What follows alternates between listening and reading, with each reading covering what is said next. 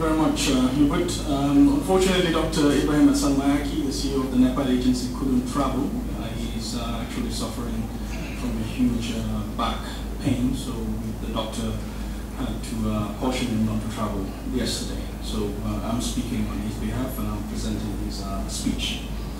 Her Excellency Dr. Sahar Nasser, Minister of the International Cooperation Ministry of the Arab Republic of Egypt, um, Mrs. Uh, Zinzi Musamira Rampwe, um, uh, Rampamwe, Rampamwe, I should know that Zinzi, because we talked a lot. Head, head of uh, the Public Sector Affairs uh, Barclays Bank, uh, esteemed members of the CBN Council and CBN members, distinguished participants, ladies and gentlemen. Um, let me first begin uh, by thanking Dr. Akinwumi Adesina hosting, the, the president of the African Development Bank, for hosting us today here at uh, the ADB annual meetings. I welcome you all to the second Continental Business Network meeting. Uh, the CBN was launched in June 2015 on the emergence of the World Economic Forum in Cape Town, South Africa. As an African Union, heads of state and government response to facilitate advice and leadership in essential continent-wide infrastructure projects. We are holding the second meeting as part of the African Development Bank annual meetings. The CBN serves as the continental platform between private and public sector to promote implementation of the Program for Infrastructure Development in Africa, PIDA. It aims to engage and advance private sector priorities and requirements to invest in regional and cross-border projects. In addition, it acts as the exclusive infrastructure investment advisory platform, engaging and interfacing with high-level African policymakers and captains of industry on a range of strategic issues such as procurement, sector policy, investment risk rating, structuring, and overall promotion of projects. The focus of this second CBN meeting is on the critical role that the private and public sectors need to play in de-risking PIDA projects.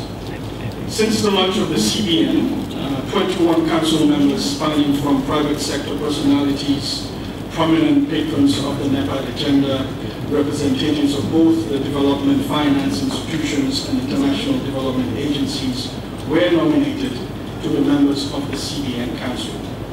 The Council held, held its inaugural meeting on the 16th of October in New York as part of the United Nations Africa Week events. The CBN Council deliberated and adopted a 12-month work plan with clear results. Overall, the meeting noted that the government governance structures, as highlighted in the CBN framework, needs to be implemented, especially the strengthening of the Secretariat of the CBN at the NEPAD agency. I am glad to report that since the first, June 1st and October 16 meetings respectively, the CBN has achieved set milestones as guided by its 2016 work plan. Highlights of the work undertaken will be presented in this meeting. Furthermore, and of significant importance, the CBN Council noted the need to work towards assisting African governments to orient civil servants in business practices. Therefore, a dialogue with public sector entities on project-by-project -project basis in terms of fast-tracking government processes in supporting private sector participation will be an essential role of the CBN. This second CBN meeting is in line with the aspirations of the CBN Council meeting outcomes of, of 16 October 2016 in New York. The CBN Council has also stressed the utilization of sovereign wealth funds to recycle financing of, project, of PIDA projects. Hence, the Council called for a strategy to be in place for big money to be attracted through sovereign wealth funds and pension funds which will contribute to de-risking PIDA projects. Therefore, the reason we are gathered here today, this afternoon, is to fulfill the request of the Council on the need for the CBN to discuss issues of de-risking of the PIDA projects in order to attract private sector funding. Distinguished ladies and gentlemen, public investment continues to account for the bulk of spending on infrastructure. In fact, it is estimated that 65% of infrastructure projects in Africa are funded through public funds.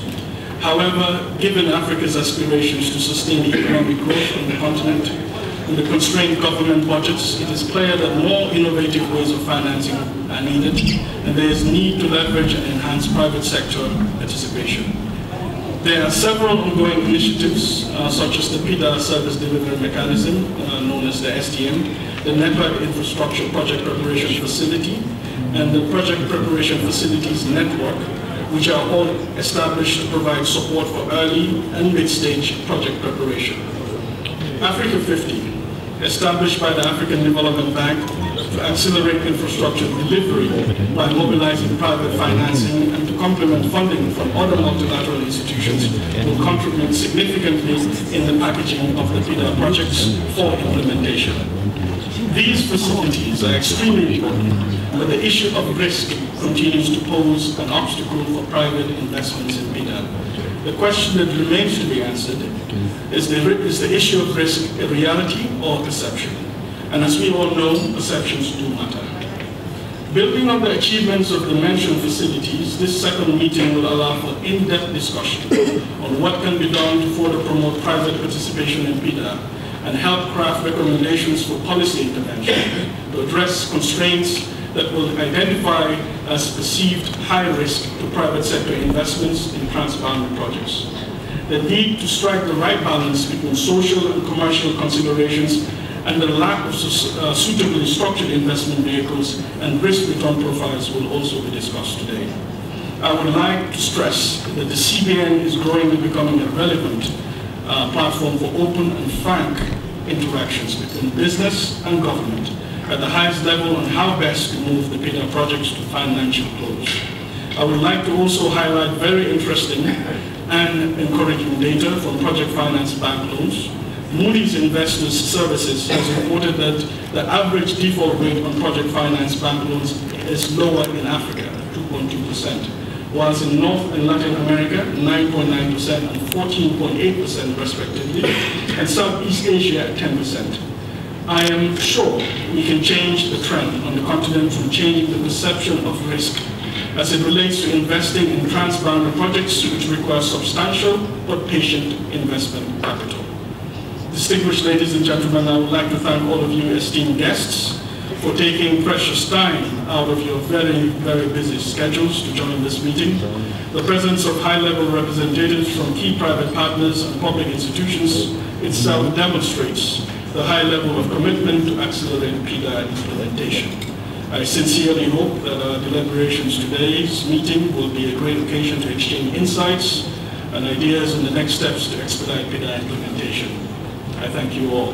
This was the message of Dr. Ibrahim Mayaki, Chief Executive of the NEPAD Agency. Thank you very much.